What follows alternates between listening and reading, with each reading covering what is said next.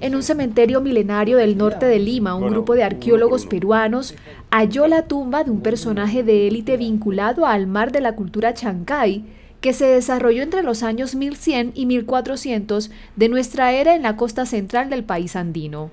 Se trata de la mayor tumba descubierta hasta la fecha en el cementerio de Macatón, un extenso recinto funerario que descansa en el margen derecho del valle bajo del río Chancay, en la costera provincia de Huaral, a unas dos horas por carretera de Lima. El doctor Pieter Van Dalen Luna, líder del equipo de arqueólogos de la Universidad Nacional Mayor de San Marcos, a cargo de la excavación de este yacimiento, explica. Sí, así es, ¿no? Hemos realizado excavaciones ya desde el mes de enero en diversas áreas de acá del cementerio de Macatón y hemos encontrado esta tumba de grandes dimensiones, de hasta más de 6 metros de profundidad, encontrándose en el fondo los restos de seis personas, ¿no? Al parecer, según las características de la tumba, ¿no? y las dimensiones y la inversión laboral en la construcción de esta tumba se trataría de un personaje de élite, ¿no? que se encuentra colocado dentro del farro.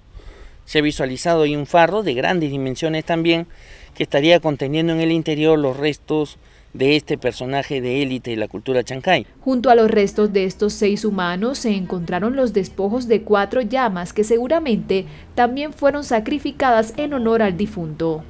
Además, la tumba atesora una gran variedad de cerca de 25 vasijas de cerámica que en su interior contenían ofrendas principalmente de comida para servir al muerto en su paso hacia la otra vida.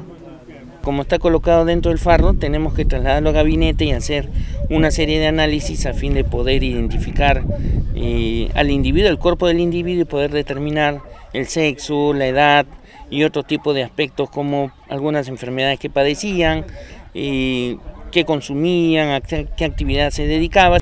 En la actualidad, el milenario cementerio está invadido por asentamientos humanos que se establecieron en la zona y bajo cuyos pies, según consideran los investigadores, siguen vestigios de la cultura chancay esperando bajo tierra su momento.